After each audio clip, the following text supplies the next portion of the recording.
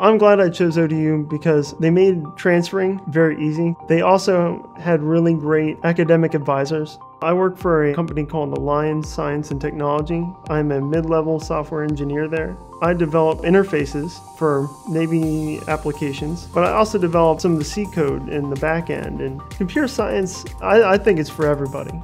ODU helps the computer science students succeed by giving them tools, knowledge, and difficult problems to solve.